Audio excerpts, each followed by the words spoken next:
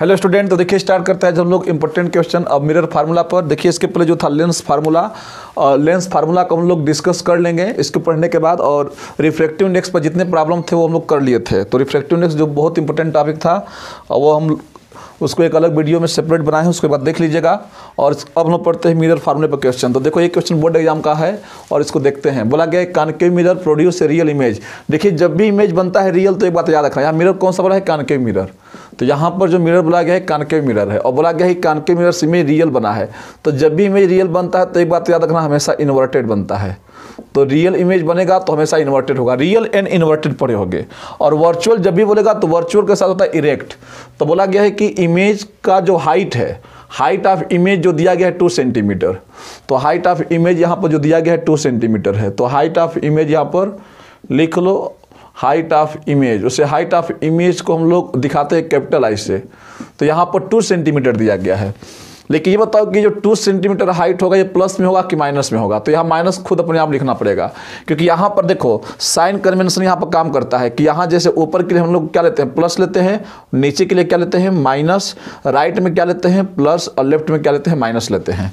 तो ये आपको साइन कन्वेंशन याद रखना पड़ता है, तब जाकर ये हो पाएगा। तो ध्यान से देखिएगा कि इमेज का जो हाइट है, ये माइनस टू लेंगे निगेटिव लेंगे। क्यों लेंगे? क्योंकि यहाँ इमेज रियल बन रहा है। और रियल बनेगा तो इन्वर्टेड बनेगा मतलब इमेज उल्टा बन रहा होगा नीचे बन रहा होगा तो इसीलिए माइनस साइन यहाँ पर लेंगे और ये हाइट किसका दिया है? ये टू सेंटीमीटर जो इमेज की हाइट है, ये कितने ऑब्जेक्ट की किस हाइट से आ रही है? तो ज़ीरो पॉइंट फाइव सेंटीमीटर ये ऑब्जेक्ट का हाइट दिया गया है। देख लो। बोला गया ना ऑफ़ एन ऑब्जेक्ट फ्रॉम इतना सेंटीमीटर तो हाइट ऑफ़ ऑब्जेक्ट तो हाइट ऑफ़ ऑब्जेक्ट को हम लोग दिखाते हैं ओ से। तो जो हाइट ऑफ़ ऑब्जेक्ट स्टूडेंट ये दिया गया है मतलब इसको कैपिटल ओ से दिखाते हैं। ये प्लस फाइव होगा, क्योंकि ऑब्जेक्ट जब भी होगा मिरर के सामने तो सीधा ही खड़ा होगा, उल्टा तो होगा नहीं। इसीलिए प्लस लेंगे। और इसमें क्या इन्फॉर्मेशन दिया गया है कि ten centimetre away from the mirror mirror से टेन सेंटीमीटर अवे है। तो ये यू दिया है। तो यू जो होगा निगेटिव होता है। ये हमेशा लेफ़्ट साइड में होता है। तो ये हो गया माइनस टेन सेंटीमीटर क्या पूछा गया? Find position of the image position of the image का मतलब वी पूछा गया। वी की वैल्यू तो लगा दो यहाँ से फार्मूला मैग्निफिकेशन का जब भी आई और ओ आ जाए तो हमेशा एम इक्वल टू लिखा करो। I upon O equal to minus V upon U ये फार्मूला होता है, माइनस वी अपान यू बहुत ही एक कामयाब फार्मूला है, इसका बहुत बार यूज़ किया जाता है, समझ लो।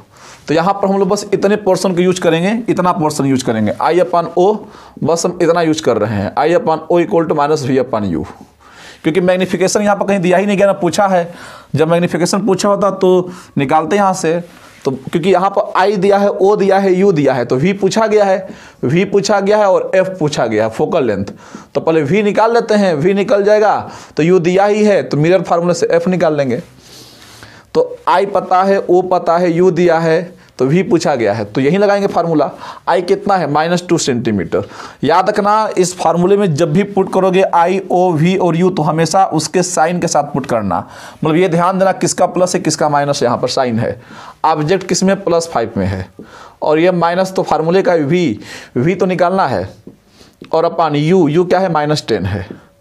तो ये देख सकते हो माइनस माइनस कट गया तो क्या हो जाएगा? यहाँ पर स्टूडेंट ये जो 0.5 दिया गया है, इसको आप लोग ध्यान समझिएगा ना, यहाँ पर 0.5 दिया गया है। तो इसको आप लोग ना 0.5 फाइव यहाँ पर लिखो प्लस में 0.5 है। ये 0.5 है प्लस में। तो यहाँ प्लस में ये कितना है? 0.5 है। वैसे हम लोग का तरीका सही है करने का, लेकिन जो क्वेश्चन में था ज़ीरो था। तो यहाँ से कितना जगह माइनस माइनस कर गया तो माइनस टू अपन ये ज़ीरो पॉइंट फाइव हो गया इक्वल टू हो गया वी अपन टेन अब क्रॉस मल्टीप्लाई कर दो तो क्रॉस मल्टीप्लाई कर दोगे तो माइनस टी हो जाएगा ज़ीरो पॉइंट फाइव भी इक्वल टू माइनस ट्वेंटी हो जाएगा। तो वी कितना हो जाएगा? Minus twenty upon zero point five decimal को हटाओगे तो ऊपर क्या आएगा? टेन आएगा। तो ऊपर टेन आ जाएगा तो minus twenty into ten upon five हो जाएगा। फाइव फोर जाएगा, कितना जगह ट्वेंटी तो वी इक्वल टू हो जाएगा माइनस फोर्टी सेंटीमीटर मतलब कि जो इमेज बनेगा, वो फोर्टी सेंटीमीटर की डिस्टेंस पर बनेगा और माइनस साइन क्या शो कर रहा है? कि मिरर के लेफ़्ट साइड में लेफ़्ट साइड में ही बनेगा। जिस साइड में ऑब्जेक्ट है, उसी साइड में इमेज बनेगा। तो ये हो गया स्टूडेंट देख लो वी का वैल्यू तो वी का वैल्यू निगेटिव क्या शो करता है? Nature find the position of the image पूछा गया है। नेचर नहीं पूछा गया है। पोजिशन तो वी निकल गया। अब फोकल लेंथ पूछा गया है। तो फोकल लेंथ निकालने के लिए क्या करोगे? लगा दो मिरर फार्मूला तो one upon F equal to क्या होता है? One upon V plus one upon U होता है। तो one upon F equal to one upon V V क्या है? माइनस फोर्टी है। अब plus one upon U U कितना है? देखिए माइनस टेन दिया गया है। प्लस माइनस क्या हो जाएगा? माइनस हो जाएगा। तो इसको हम मिटाकर सीधे यहाँ पर माइनस कर देते हैं। इतना हमें इस माइनस को ऊपर दे दो। जैसे ये माइनस जो नीचे है तो इसको ऊपर ही लिखो। इससे कैलकुलेशन करने में आसानी रहेगी तो इक्वल टू ये माइनस वन इस माइनस को नीचे वाले को ऊपर दे दिए इसका एल्सियम कितना हो जाएगा? फोर्टी और टेन का कितना होगा? फोर्टी हो जाएगा। ये one upon F equal to इसका कितना जगह बताइए? तो माइनस वन और टेन फोर जब फोर्टी ये माइनस फाइव हो जाएगा। तो यहाँ से अगर देखोगे तो one upon F equal to हो जाएगा माइनस सिक्स अपन फोर्टी हो जाएगा। अब स्टूडेंट, इसको उल्टा कर दो। तो इसको उल्टा करोगे तो क्या हो जाएगा? यहाँ से हम देख रहे कैमरे में दिख रहा है कि नहीं, एक बार चेक कर लेते हैं। हाँ यहाँ पर दिख रहा होगा अच्छे से। तो यहाँ से देखो, एफ़ इक्वल टू कितना हो जाएगा? माइनस फोर्टी अपन सिक्स हो जाएगा। और इसको काट लो तो ये हो जाएगा minus twenty upon three. Two से काट दिए तो ये आ गया नेगेटिव में। तो minus twenty upon three centimetre आ जाएगा तो इसको आप नोट कर लो। हाँ डेसिमल में इसको आप लोग चेंज कर लीजिएगा और डेसिमल में चेंज करके बाद उसको मिला लेना देखना कितना आएगा। एक बार कैलकुलेशन चेक कर लेना एक बार तो यहाँ से ये टेन फोर जा फोर्टी हो जाएगा। ये यहाँ पर फोर होना चाहिए। एल्सियम लोगे तो टेन फोर जा फोर्टी हो जाएगा तो यहाँ माइनस फाइव आएगा। एल्सियम चेक कर लो यहाँ पर। तो ये उल्टा करोगे तो फाइव सीधे यहाँ पर आंसर ही आ जाएगा। तो ये माइनस एट हो जाएगा, यहाँ पर करोगे तो माइनस एट आ जाएगा। तो फोकल लेंथ माइनस एट आएगा। यहाँ से कैलकुलेशन कर लेना टेन फोर या फोर्टी तो एल्सियम लेकर कर सकते हो। तो फोकल लेंथ आ गया माइनस एट सेंटीमीटर तो यहाँ पर हम लिख देते हैं फोकल लेंथ आ गया माइनस एट सेंटीमीटर और वी की जो वैल्यू आ गई वो माइनस फोर्टी सेंटीमीटर आ गई। तो आप देख सकते हो कि ये क्वेश्चन डन हो गया। बहुत अच्छा यहाँ पर तुरंत कमेंट कर दिए होंगे बच्चे कि यहाँ पर ऐसे नहीं होगा तो इसको देख लेना। यहाँ पर एल्सियम लेंगे टेन फोर या फोर्टी तो फोर बढ़ जाएगा तो माइनस फोर माइनस फोर कितना हो जाएगा? माइनस फाइव तो बहुत अच्छा इसको नोट कर इसके बाद देखते हैं अगला क्वेश्चन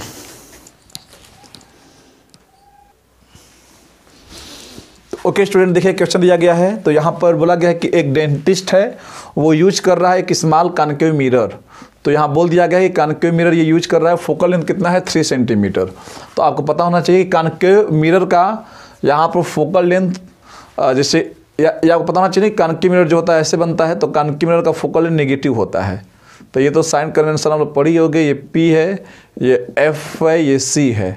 तो इसका फोकल लेंथ यहाँ से यहाँ तक इसको बोलते फोकल लेंथ तो अगर इसको मैं यहाँ से मिला दें एक्स एक वाई एक्सिस बोल दें तो देखो ये लेफ़्ट में चला गया। तो मतलब इसका फोकल लेंथ नेगेटिव होता है। तो फोकल लेंथ दिया गया है थ्री सेंटीमीटर तो ये फोकल लेंथ है प्लस लिखे कि माइनस लिखे तो माइनस थ्री लिखेंगे। और बोला गया है कि ये कानकी मिरर को जो होल्ड करता है वो कितने डिस्टेंस पर? टू सेंटीमीटर मतलब जो टूथ से टू सेंटीमीटर का डिस्टेंस है। मतलब ये ऑब्जेक्ट का डिस्टेंस है, ये यू दिया गया है तो यू भी क्या होगा? निगेटिव ही होगा। तो बोला गया है फाइंड करना है एम एम का मतलब क्या समझ रहे हो? एम का मतलब मैग्निफिकेशन मैग्निफिकेशन फाइंड करना है इमेज का।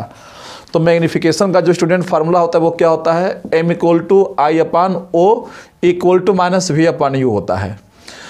तो यहाँ तो इमेज का साइज़ और ऑब्जेक्ट का साइज़ पता ही नहीं है तो इसका हम लोग ये यूज़ करेंगे फार्मूला तो हम लोग किसका यूज़ करेंगे formula M equal to minus V upon U का यूज़ करेंगे। तो ध्यान से देखो तो यू पता है। रख दोगे लेकिन वी नहीं पता है। वी कहाँ से निकालेंगे? वी निकालने के लिए यूज़ कर देंगे मिरर फार्मूला तो कभी कभी यही होता है कि इस फार्मूले में आई और ओ की आवश्यकता नहीं पड़ती है तो इससे निकाल लेंगे। कभी कभी इन दोनों की आवश्यकता पड़ जाती है तो ये बहुत कामयाब फार्मूला है। तो यहाँ से स्टूडेंट अगर मिरर फार्मूला हम लोग यूज़ कर लें तो one upon F equal to क्या होगा one upon V plus one upon U हो जाएगा one upon F focal length कितना हो जाएगा minus three one upon V V पता ही नहीं भी निकाल लेंगे और plus one upon U U कितना है माइनस टू है तो यहाँ माइनस टू लिख देते हैं प्लस माइनस माइनस हो जाएगा माइनस ऊपर दे दो तो माइनस वन अपन कितना हो जाएगा three one upon V plus minus minus one upon two यहाँ से minus one upon three minus one by two आएगा तो प्लस वन अपन टू हो जाएगा ये वन अपन भी हो जाएगा यहाँ से स्टूडेंट देखेंगे तो यहाँ से एल्शियम कितना हो जाएगा? थ्री और टू का सिक्स थ्री टू जा six minus three two three जा सिक्स थ्री टू जा सिक्स हो जाएगा।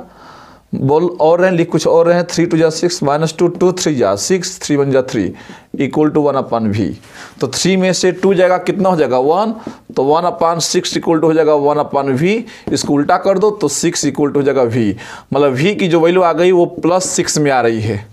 मतलब वी सिक्स सेंटीमीटर आ गया स्टूडेंट तो बस एम निकाल लो यहाँ पर तो एम इक्वल टू क्या होता है? माइनस वी अपान यू इसी का यूज़ कर लो तो माइनस वी वी कितना है?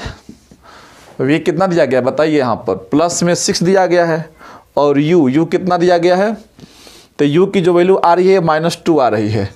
तो माइनस से माइनस कट जाएगा, ये हो जाएगा टू थ्री जा सिक्स मतलब कि यहाँ पर जो एम की स्टूडेंट वैल्यू आ रही है, वो प्लस थ्री सेंटीमीटर आ रही है। मतलब मैग्निफिकेशन जो हो जाएगा, वो थ्री टाइम्स ज़्यादा हो जाएगा। तो देख सकते हो कि यहाँ पर जो एम की वैल्यू आ रही है थ्री आ रही है। थ्री आने का मतलब क्या स्टूडेंट आप समझें कि थ्री आने का मीनिंग क्या है। थ्री आने का मतलब क्या हुआ कि मैग्निफिकेशन जो है थ्री टाइम्स है। मतलब कि जो साइज़ ऑफ़ इमेज है मतलब जिस टूथ को देखा जा रहा था जैसे डेंटिस्ट जब टूथ को देखेगा तो जो मिरर का यूज़ करता है तो उसमें जो टूथ का साइज़ होता है बड़ा हो जाता है मैग्नीफाई कर देता है मिरर तो थ्री आने का मतलब यही है कि जो इमेज का साइज़ है, वो ऑब्जेक्ट के साइज़ का थ्री टाइम्स ज़्यादा हो गया। मतलब आपका जो टूथ का साइज़ है वो थ्री टाइम्स बढ़ जाएगा, ज़्यादा हो जाएगा। ये है मैग्नीफिकेशन का मतलब। तो प्लस थ्री आ रहा है तो देख सकते हो आसानी से इसको कर सकते थे। तो ये फार्मूला बहुत इंपॉर्टेंट है, इसका हमें यूज़ बहुत बार करना पड़ता है। तो अगर इतना याद है मिरर फार्मूला देख ही रहो, ये भी यूज़ कर ही रहे हैं तो आप मिरर फार्मूला कोई भी क्वेश्चन कर सकते हो। इसमें आपको कोई प्रॉब्लम नहीं होगा। इसको नोट करो, एक दो क्वेश्चन और देखते हैं।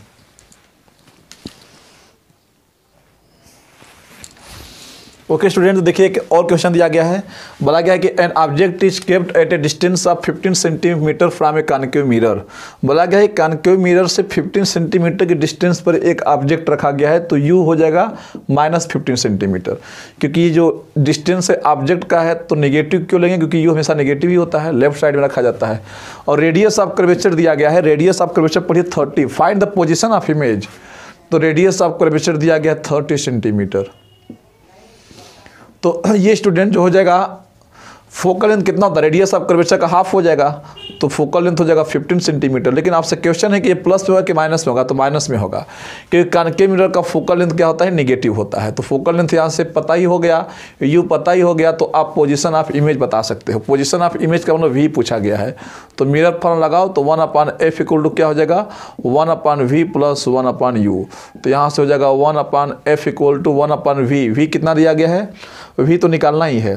तो यहाँ फोकल लेंथ तो पता ही है तो फोकल लेंथ रख दो, ये हो गया माइनस फिफ्टीन वी आपको निकालना है plus one upon U U कितना दिया गया है? माइनस फिफ्टीन तो ये one upon minus fifteen plus minus minus हो जाएगा तो one upon V minus one upon fifteen हो गया। तो ये माइनस उधर जाएगा तो क्या हो जाएगा? प्लस हो जाएगा। तो ये minus one upon fifteen plus one upon fifteen और इक्वल टू हो जाएगा वन अपन भी समझो, ये माइनस उधर गया तो क्या हो जाएगा? प्लस ये कट गया तो ज़ीरो आ जाएगा तो zero equal to one upon भी हो जाएगा। इसके नीचे क्या है? वन है। वी निकालना है, उल्टा कर दो तो ये वन अपन ज़ीरो हो जाएगा, ये वी अपन वन हो जाएगा। मतलब वी की वैल्यू वी अपन वन भी आएगा। तो तो वी वन अपन ज़ीरो आ गया। वन अपन ज़ीरो का मतलब होता है इनफाइनाइट वन में ज़ीरो को डिवाइड करोगे तो आंसर इनफाइनाइट आता है। इसको इनफाइनाइट बोलते हैं एट इन्फिनिटी तो इसको इन्फिनिटी बोलते हैं, इस सिंबल को।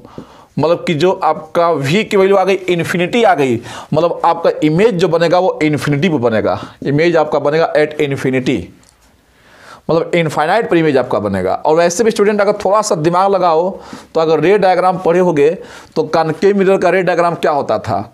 ध्यान से अगर देखो तो ये कानके मिरर है, यहाँ पर होता है पोल इसको बोलते हैं फोकस ये होता है सेंटर ऑफ़ कर्वेचर ऑब्जेक्ट यहाँ से बोला गया था, ये लॉजिकल क्वेश्चन था। इस बच्चे इसको बिना किए बता सकते थे। ये बोला गया कि ऑब्जेक्ट जो है 15 सेंटीमीटर के डिस्टेंस पर रखा गया है। और रेडियस ऑफ़ कर्वेचर 30 है। तो यहाँ से बता सकते हो कि फोकल लेंथ 15 है। कहने का मतलब कि फोकल लेंथ भी 15 है, और यू भी 15 है। अगर दोनों की वैल्यू सेम है यू और एफ़ की वैल्यू सेम है मतलब कि ऑब्जेक्ट जो है मिरर से 15 सेंटीमीटर के डिस्टेंस पर रखा गया है और फोकल लेंथ भी 15 है। मतलब यहाँ से अगर देखो तो यहाँ से यहाँ तक का आपका जो ऑब्जेक्ट है, यहाँ से डिस्टेंस कितना है? 15 सेंटीमीटर दिया गया है। नेगेटिव में होगा, और फोकल लेंथ भी यहीं पर है इसका। तो इसका मतलब कि इस केस में जब भी वैल्यू सेम आएगी दोनों की तो आंसर हमेशा इन्फिनिटी आएगा। क्योंकि अगर यहाँ से हम लोग रे ऑफ़ लाइट ड्रा करते हैं, मान लेते हैं कि ऑब्जेक्ट यहाँ पर है तो यहाँ पर फोकस पर जब ऑब्जेक्ट होगा ये खुद आपको कॉमन सेंस यूज़ करना है कि ऑब्जेक्ट जो है फोकस पर हो गया है। क्योंकि यू भी कितना है? फिफ्टीन है एफ़ भी फिफ्टीन है। मतलब कि ऑब्जेक्ट एकदम फोकस पर ही खड़ा होगा। तो फोकस पर खड़ा होगा तो यहाँ से रेडाग्राम बनाओ। इसमें मिरर में टोटल छः केस बनता था सिक्स केस तो सिक्स केस में ये भी एक केस था कि जब फोकस पर ऑब्जेक्ट खड़ा होगा तो एक रे आप लाइट यहाँ से निकालेंगे तो कहाँ से होकर जाएगी? फोकस से होकर जाती थी और एक सेंटर ऑफ़ कर्वेचर से लाइट को निकालते थे कि इस ऑब्जेक्ट से एक सेंटर ऑफ़ कर्वेचर से लाइट जाती थी। तो उसी डायरेक्शन में वापस आ जाती थी तो यहाँ पर ये लाइन पैरेलल हो जाती थी पैरेलल और जब दो लाइन आपस में पैरेलल होती है तो कहाँ मिलती हैं? इनफाइनाइट पर बोलते थे तो इमेज बनता था इनफाइनाइट पर। तो ये भी एक केस था, हम लोग पढ़े थे। तो डायग्राम से भी सोच सकते हो। लेकिन एक याद कर लो नोट में कि अगर यू की वैल्यू और एफ़ की वैल्यू कहीं भी सेम आ जाए क्वेश्चन में बोल दे तो आप समझ जाना कि उस केस में इमेज कहाँ बनेगा? इन्फाइनाइट पर बनेगा, क्योंकि उस समय ऑब्जेक्ट कहाँ खड़ा होगा? फोकस पर ही खड़ा होगा। तो फोकस पर अगर ऑब्जेक्ट खड़ा है, क्योंकि ऑब्जेक्ट का डिस्टेंस यहाँ से 15 है और फोकल लेंथ भी 15 है 15 है तो इसका मतलब यही है कि ये फोकस पर ही खड़ा है। और जब फोकस पर खड़ा होगा तो इमेज कहाँ बनेगा? इनफाइनाइट पर। तो इसको बिना किए बता सकते थे। वैसे मैथमेटिकली कैलकुलेशन करके हम देख लिए कि आंसर कितना आएगा? इन्फिनिटी आएगा। तो ये भी एक बहुत अच्छा क्वेश्चन था। इसको नोट कर लो इसके बाद देखते हैं एक और क्वेश्चन ओके स्टूडेंट तो देखिए ये एक इम्पोर्टेंट क्वेश्चन है और इसको देखते हैं। और concave mirror produces a magnification of one upon two बोला गया है कि कानके मिरर से जो मैग्निफिकेशन बन रहा है, वो वन बाई टू का बन रहा है। When an object is placed at a distance of 60 centimetre from it मतलब कानके मिरर से 60 सेंटीमीटर की डिस्टेंस पर ऑब्जेक्ट है, ये यू दिया गया है। अब बोला गया है where the where should the object be placed बोला गया है कि ऑब्जेक्ट को कहाँ रखा जाए? So that the size of the image becomes one upon three of that of object मतलब ऑब्जेक्ट को कहाँ रखा जाए? मतलब यू पूछा गया है। मतलब यहाँ पर देखो ये जो जिससे कि मैग्निफिकेशन वन अपॉन थ्री हो जाए। बोला गया कि साइज़ ऑफ़ इमेज जो हो जाए वन अपॉन थ्री हो जाए किसका? ऑब्जेक्ट के साइज़ का। मतलब ये भी मैग्निफिकेशन का ही वैल्यू दी गई है। तो ये अच्छा क्वेश्चन हो गया। तो देखो, इसको देखते हैं। मैग्निफिकेशन यहाँ पर वन बाई टू दिया। पहले स्टार्टिंग में देखो क्या दिया गया है कि यहाँ पर यू दिया गया है। यू दिया गया है माइनस सिक्सटी सेंटीमीटर ये आपको खुद जज करना पड़ेगा माइनस क्यों लिए? क्योंकि डिस्टेंस ऑफ़ ऑब्जेक्ट है। मिरर कौन सा बोला गया है? कानकेव मिरर बोला गया है। स्टार्टिंग में ही। और एम की वैल्यू दी गई है वन अपान टू तो ये मैग्निफिकेशन दिया गया है वन अपान टू है। तो पहले स्टूडेंट देखो ध्यान से, अब पूछा गया है कि जब मैग्निफिकेशन वन अपान थ्री हो जाए, जब मैग्निफिकेशन वन अपान टू है तो उस केस में ऑब्जेक्ट सिक्सटी सेंटीमीटर की डिस्टेंस पर है। अब बोला गया है कि जब मैग्निफिकेशन वन अपान थ्री हो जाएगा तो उस केस में यू की वैल्यू कितनी आएगी, यही पूछा गया है। ये क्वेश्चन मार्क है। क्वेश्चन का मतलब समझ लो क्या है। जब मैग्निफिकेशन वन अपान टू है तो यू की वैल्यू इतनी है। जब वन अपान थ्री हो जाएगा, तब यू कितना हो जाएगा, यही क्वेश्चन पूछा गया स्टूडेंट और इस क्वेश्चन को हमें समझना पड़ेगा। तो ये क्वेश्चन बहुत इंपॉर्टेंट हो गया है तो इसको हमें देखो करना होगा कैसे करेंगे। क्वेश्चन का मतलब समझ गए? तो एक बात याद रखना कि मैग्निफिकेशन की वैल्यू चेंज हो जाए यू चेंज हो सकता है, लेकिन जो फोकल लेंथ होती है, एक मिरर का जो फोकल लेंथ होता है, वो फिक्स होता है। आप ऑब्जेक्ट को कहीं रखो, जैसे मिरर है मिरर से आप 60 सेंटीमीटर दूर रखो 20 सेंटीमीटर दूर रखो ऑब्जेक्ट पास आए, चाहे दूर जाए एक मिरर की अपनी फोकल लेंथ फिक्स होती है। फोकल लेंथ कभी बदलती नहीं है, समझ लो। और हर जितना मिरर बड़ा होगा, छोटा होगा, उसका एक अपना फोकल लेंथ होता है। तो एक काम कर लेते हैं हम लोग कि इसका फोकल लेंथ निकाल लेते हैं। एम पता है यू पता है तो इस केस में फोकल लेंथ निकाल लो। तो फोकल लेंथ निकाल सकते हैं कि नहीं? देखो कैसे निकालेंगे। तो यहाँ पर स्टूडेंट यूज़ करते हैं concept M equal to I upon O नहीं लेंगे, बस माइनस वी अपन यू लिखेंगे। आई अपन ओ लिखने का कोई मतलब ही नहीं है, क्योंकि यहाँ पर इमेज का साइज़ कुछ दिया ही नहीं गया है। तो मैग्निफिकेशन कितना दिया गया है? वन अपन टू दिया गया है। और ये minus v upon u u कितना दिया गया है? माइनस सिक्सटी दिया गया है। तो यहाँ से अगर ध्यान से देखोगे तो माइनस माइनस कट जाएगा, ये टू से सिक्सटी भी कट जाएगा थर्टी बार में। तो यहाँ से स्टूडेंट जो वी की वैल्यू आ गई, ये प्लस में आ गई थर्टी सेंटीमीटर तो ये वी का वैल्यू आ गया। देख लो कैसे किया गया है। M equal to minus v upon u था। तो माइनस फार्मूले में था वी अपन यू यू क्या है? Minus sixty minus minus plus हो गया और टू से सिक्सटी कट गया. थर्टी बार में वी आ गया थर्टी सेंटीमीटर प्लस में आ गया. तो ये वी हो गया, ये यू दिया ही गया है. तो अब बताओ वी पता है यू पता है तो यहाँ से फोकल लेंथ आ सकता है कि नहीं? आ सकता है.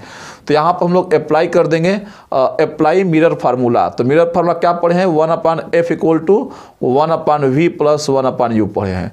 तो फोकस लेंथ पहले निकाल लेते हैं तो one upon f equal to one upon v v कितना है? थर्टी सेंटीमीटर ये प्लस में है और u किसमें है? निगेटिव में है। तो प्लस माइनस माइनस हो जाएगा तो माइनस वन अपन सिक्सटी हो जाएगा। समझो ना? माइनस कैसे आया? u माइनस में था तो प्लस माइनस माइनस तो यहाँ पर एल्शियम ले लो, थर्टी और सिक्सटी का एल्शियम सिक्सटी आएगा। थर्टी टू जा सिक्सटी हो जाएगा, सिक्सटीन वन जा सिक्सटी।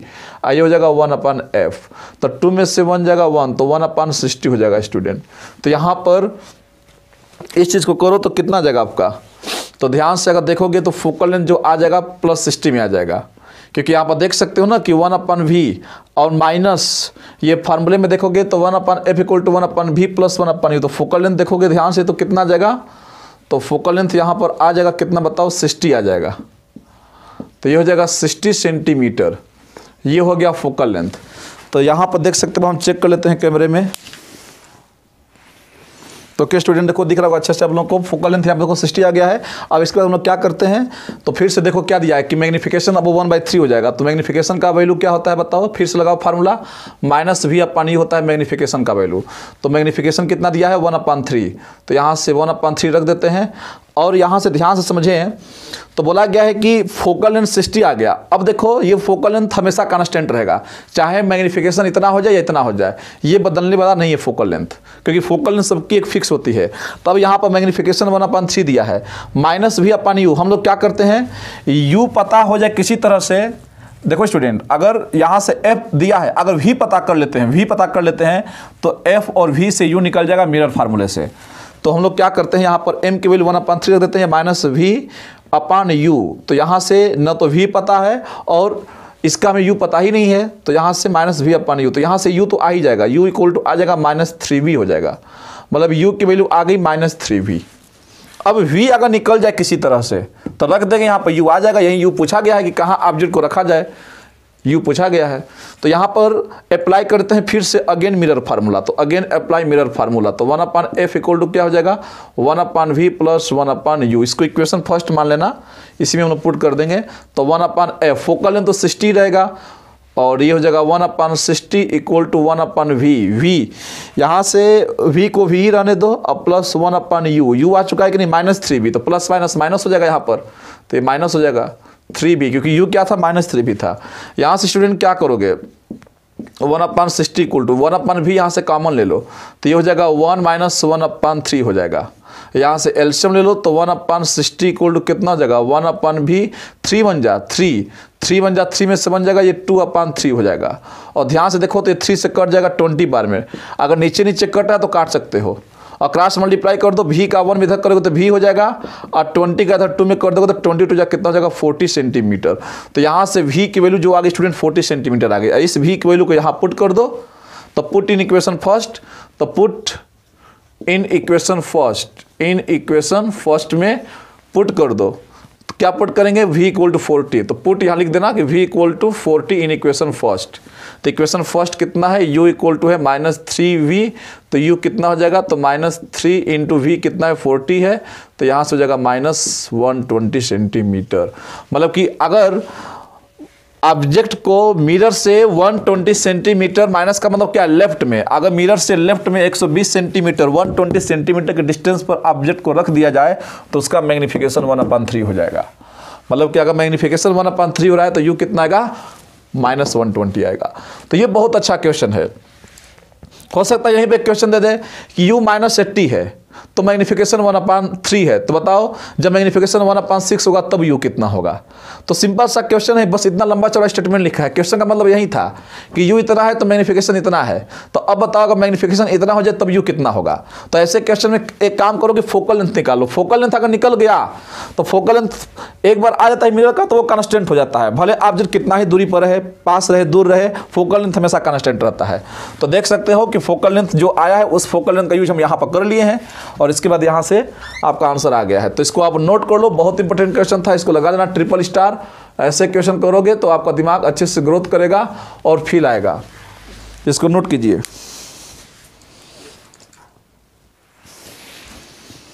ओके स्टूडेंट तो देखिए, आपके लिए दो क्वेश्चन यहाँ पर दे दिए गए हैं और इसको आपको कमेंट सेक्शन में कमेंट करके जवाब देना है और बताना है कि इसका आंसर क्या होगा। और ये दोनों क्वेश्चन बहुत इंपॉर्टेंट है तो इसको ट्राई कीजिएगा। और जैसे हम आज पढ़ाए हैं, उसी लेवल का क्वेश्चन दिए हैं तो आसानी से कर लोगे और एकदम अच्छे से, और इसको आप लोग कमेंट सेक्शन में कमेंट करके ज़रूर बताना। तो मैं सबका वेट करूँगा और देखूँगा कितने लोगों ने जवाब दिया है। तो आप लोग ज़रूर बताइएगा और अगले वीडियो में उन लोग का नाम भी नाम भी लेंगे कि किन किन बच्चों ने इसका जवाब दिया था। तो एकदम अच्छे से इसको आप लोग कीजिएगा। और जम करके आप लोग वीडियो को शेयर कीजिए अपने फ्रेंड्स के बीच में और लाइक कमेंट करते रहो अच्छे से, ताकि हमको भी एक जैसे एक मोटिवेशन मिलता रहता है कि नहीं, आप, हम भी अच्छा कर रहे हैं तो आप लोग ज़रूर बताइए कि नहीं कैसा लगा, और इसका आप लोग कमेंट सेक्शन में कमेंट करके ज़रूर बताना। तो ओके स्टूडेंट आज के लिए बस इतना ही रहेगा। All the very best